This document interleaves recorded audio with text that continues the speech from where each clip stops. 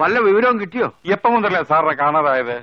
ഇന്നത്തെ പ്രോഗ്രാം ചോദിച്ചു. ഞാനത് വായിച്ചു. നാളത്തെ പ്രോഗ്രാമും ചോദിച്ചു. അതും ഞാൻ വായിച്ചു. മറ്റന്നാളത്തെ പ്രോഗ്രാം ചോദിച്ചു. അതെന്റെ കയ്യിലില്ലായിരുന്നു. അതെടുക്കാൻ ഞാൻ അകത്തേക്ക് പോയിട്ട് തിരിച്ചു വന്നപ്പോഴേക്കും സാറില്ല. ദേ, ആദ്യം തന്റെ ഈ ഒടുക്കത്തെ പ്രോഗ്രാം വായിക്കലും നിർത്ത്. ഇത് കേട്ട ആരും നാട് വിടും.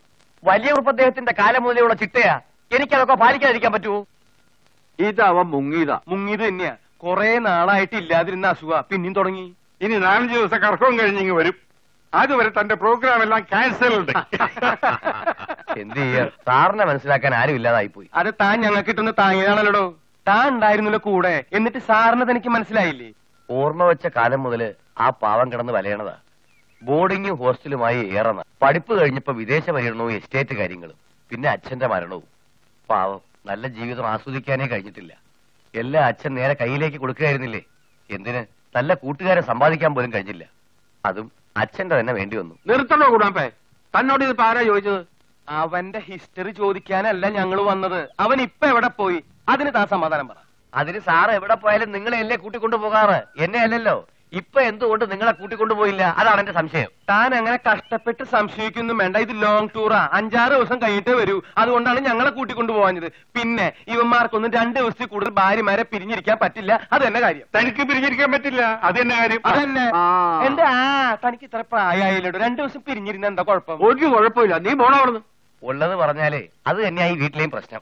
എന്ന് പറഞ്ഞാൽ ഞങ്ങളുടെ പെമ്പർ നോക്കിയെ പിരിഞ്ഞിരിക്കാൻ തനിക്ക് പറ്റില്ല എന്ന്. അതല്ല. ഈ വീട്ടിൽ അങ്ങനെ ഒരു വെമ്പർനോത്തി ഇല്ലാത്തതായി ഈ കുഴപ്പത്തിനൊക്കെ കാരണം. കറക്റ്റാ എന്ത് കറക്റ്റ് ഒരു കറക്റ്റും ഇല്ല. എന്ത് വലിയ കണ്ടുപിടുത്തം അയാൾ കണ്ടുപിടിച്ചിരിക്കുന്നത് ഈ കണ്ടുപിടുത്തം ഏതെങ്കിലും ബുക്ക് സ്റ്റാളിന് അയച്ചു കൊടുത്താൽ തനിക്ക് നോബൽ സമ്മാനം കിട്ടും. ചെല്ല്. അവൻ പറഞ്ഞത് കറക്റ്റാ നമ്മുടെ പയ്യൻ ഒരു കല്യാണം കഴിക്കണം. എന്നാലേ ഈ മുങ്ങലിന് ഒരു അറുതി വരൂ. എടോ മണ്ടം മരങ്ങോടാ. അത് എനിക്കറിയാം. പക്ഷെ അത് അവൻ പറഞ്ഞിട്ട് നടപ്പിലാക്കണ്ട. അങ്ങനെ അവൻ വലിയ ആളും ആവണ്ട. കൊച്ചുകുറുപ്പിണ്ട് വന്നോട്ടെ. ഞാൻ പറയാടോ ഈ ഐഡിയ ആ അല്ല ഇതൊക്കെ പോട്ടെ. ഈ ഐഡിയ ഞാൻ പറഞ്ഞാലോ? ഒരു സെക്കൻഡ് ഞാനൊന്ന് ആലോചിക്കട്ടെ. ഒന്ന് ആലോചിച്ചോട്ടെ. താൻ പറയണ്ട.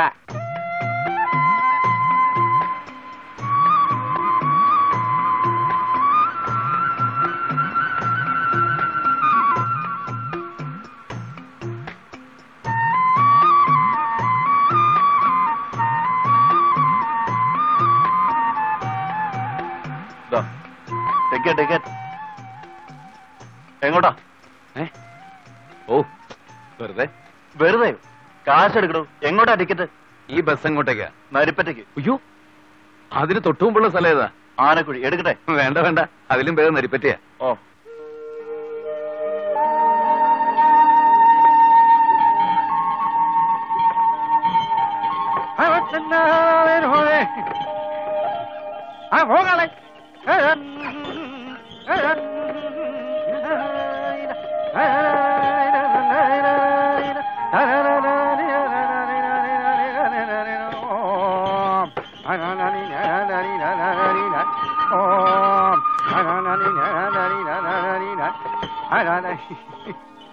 കേക്കട്ടെന്ന് ഈ കാലം അടിക്ക് ഓരോ വാക്ക്മാൻ തെറ്റിയാണ് ഇല്ലാതെ ഇനി സ്പീഡ് വരില്ല. നിക്കാമുരിയായി വേണ്ടേ. കാളന്മാരോട് പറഞ്ഞതാ. അല്ലാതെ മര്യാദ പറഞ്ഞ ഇവറ്റകൾ കേൾക്കൂലെന്നേ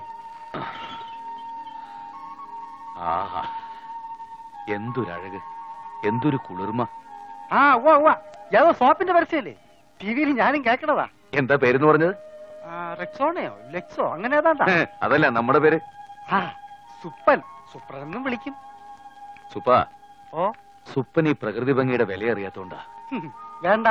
ഈ വണ്ടി കയറി വന്നതിന്റെ വിലയും ഞാൻ ഞാനങ്ങ് പോയേനെ. പോവാനോ? എനിക്ക് തിരിച്ചു പോണം. നാരായണ തിരികെ പോവാനോ? ഇതിന് തിരിച്ചു പോവൂല. അതെന്താ കേറിയപ്പോ പറയാഞ്ഞത്? അതെന്താ കേറിയപ്പോ ചോദിക്കാഞ്ഞേ? എന്നാ തിരിച്ചു പോണ്ട. നമുക്ക് മുന്നോട്ട് പോവാം. മുന്നോട്ട് പോകാൻ പറ്റൂല. അവിടെ കൊക്കയാ. അപ്പൊ താനിനി എങ്ങോട്ട് പോവും? എന്റെ വീട്ടിലോട്ട് പോവും. ഞാൻ കാണുന്ന കുഴിയിലെ കരയ്ക്കാ എന്റെ വീട്. തന്നെ സമ്മതിച്ചു തന്നിരിക്കുന്നു.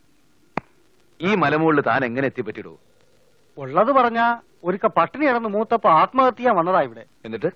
എന്നിട്ടിപ്പോ ചേട്ടൻ പറഞ്ഞ പോലെ മനോഹരമായ ഈ കാഴ്ചയും കുളിരും ഒക്കെ കണ്ടപ്പോ ഇവിടെ തന്നെ ഒരു കുടിലും വെച്ച് കെട്ടി കപ്പ കൃഷിയും ചെയ്തവൻ കൂടിയാലോ എന്ന് തോന്നി. അത് തന്നെ.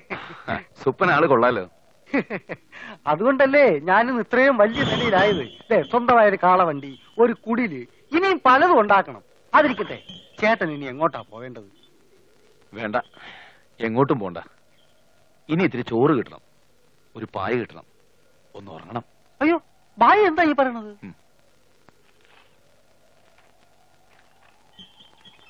ഒരു സ്ഥലമുണ്ട്. ബാ കേറ്. ദീപം. ദീപം.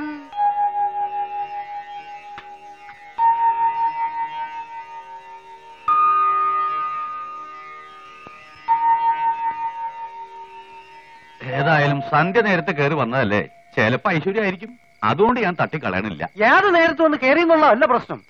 ആരും കയറാതെ ഒഴിഞ്ഞു കിടക്കുന്ന വീടിന് രണ്ടു ദിവസത്തെ വാടക കിട്ടിക്കോട്ടെ എന്നുള്ളതാണ് പ്രശ്നം. പക്ഷെ മറ്റൊരു പ്രശ്നമുണ്ടല്ലോ. സന്ധ്യ കഴിഞ്ഞാൽ ഞാൻ ഇരുമ്പ് സാധനം ഒന്നും കൈമാറാറില്ല. അതിന് അയാൾ ഇരുമ്പ് സാധനം ഒന്നും ചോദിച്ചില്ലല്ലോ. താക്കോൽ കൊടുക്കണ്ടേ? ഛോ, ഞാൻ കുറെ നാളായിട്ട് പറഞ്ഞതാ. പിത്തളയിൽ ഒരു താഴ് മേടിച്ചതായി അതാകുമ്പോ ഇയാൾ പാതിരാത്രിയിൽ എടുത്ത് കൈമാറാലോ? ആ ഏതായാലും നീ ആളെ വിളിക്ക്. എന്നിട്ട് നീ തന്നെ അകത്തേ നിന്ന് താക്കോൽ കൊടുക്ക്. അകത്തേറി വന്നോളൂ.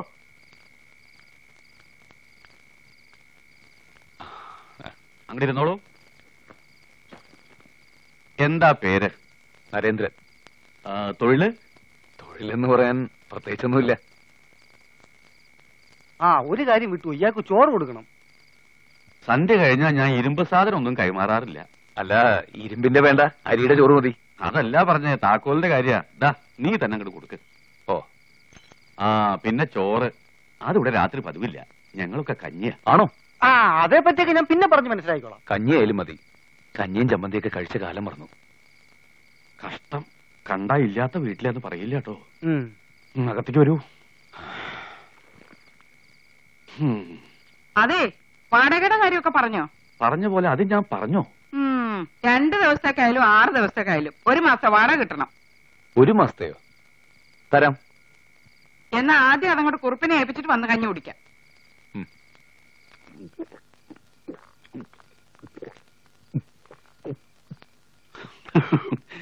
സത്യത്തിൽ താൻ വല്ല സെൻട്രൽ ജയിലിലോ മറ്റോ ആയിരുന്നു സംശയം.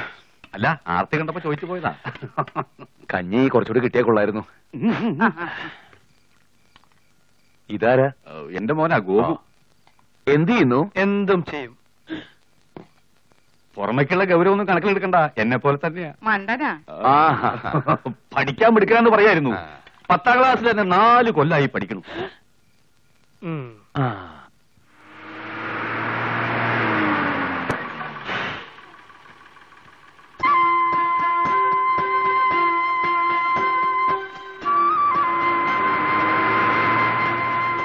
ചേച്ചി ഞാൻ കാത്തു നിൽക്കായിരുന്നു. എന്താ പതിവില്ലാതെ ചേച്ചിയും കാത്ത്?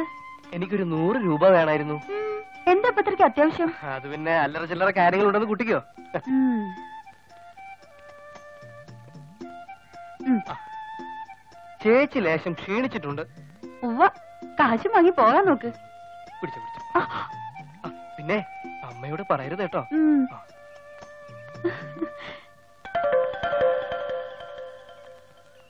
മോളെ മീരേ.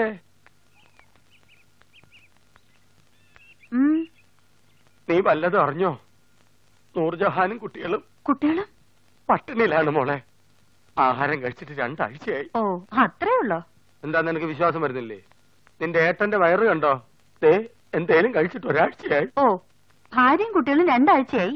ഏട്ടൻ ഒരാഴ്ചയായി. അതെ മൊത്തം മൂന്നാഴ്ച. ഒരു അഞ്ഞൂറ് രൂപ വേണം. ഒന്നുമില്ലെങ്കിലും ഞാൻ നിന്റെ സ്വന്തം ഏട്ടനല്ലേ? വേണ്ട കാശ് മാത്രം തരില്ല. അരി മേടിക്കാനാണ് മോൾ കള്ളു ഷാപ്പിൽ എന്ന് മുതൽ അരി വിറ്റ് തുടങ്ങിയേ? അയ്യോ ഞാൻ പറയുന്നത് കേക്ക്. സത്യമായിട്ട് ഇത് അരി മേടിക്കാൻ തന്നെയാണ്.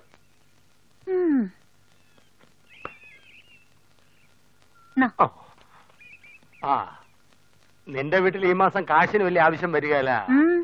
എവിടെന്നോ വന്ന ഒരു തെണ്ടയ്ക്ക് തെക്കേ വീട് വാടകയ്ക്ക് കൊടുത്തിരിക്കുക അതും ബ്ലേഡ് വാടകയ്ക്ക്.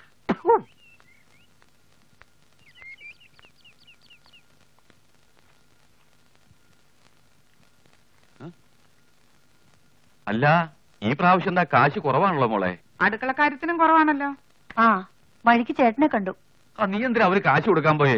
അവൻ ഇന്നലെയും കൂടി മൂക്കറ്റം കള്ളു കുടിച്ച് ബഹളം ഉണ്ടാക്കിയവനാ. എന്റെ മോളെ നീ കഷ്ടപ്പെട്ട് ജോലി ചെയ്തും ഭക്ഷണം ചുരുക്കി സമ്പാദിച്ച കാശ. അത് ഹോസ്റ്റലിൽ കൊടുക്കാനേ തികയുന്നില്ല. പിന്നെന്തിനാ തടിമാടന്? അല്ല അത് അവനും കൂടി തോന്നണ്ടേ? അന്യ സമുദായത്തിന് പെണ്ണും കെട്ടി പിറ്റേ ആഴ്ച അളിയന്മാരോടൊപ്പം ഗൾഫിന് പറക്കാൻ പോകുന്ന വീമ്പിളക്കിയ ആളാ. ഇപ്പതാ റോട്ട് കൂടെ തെണ്ടി തിരിഞ്ഞ് നടക്കണു. അതൊക്കെ പോട്ടെ. വീട് വാടക കൊടുത്ത ആർക്കാ ഹൈ, ഹൈ,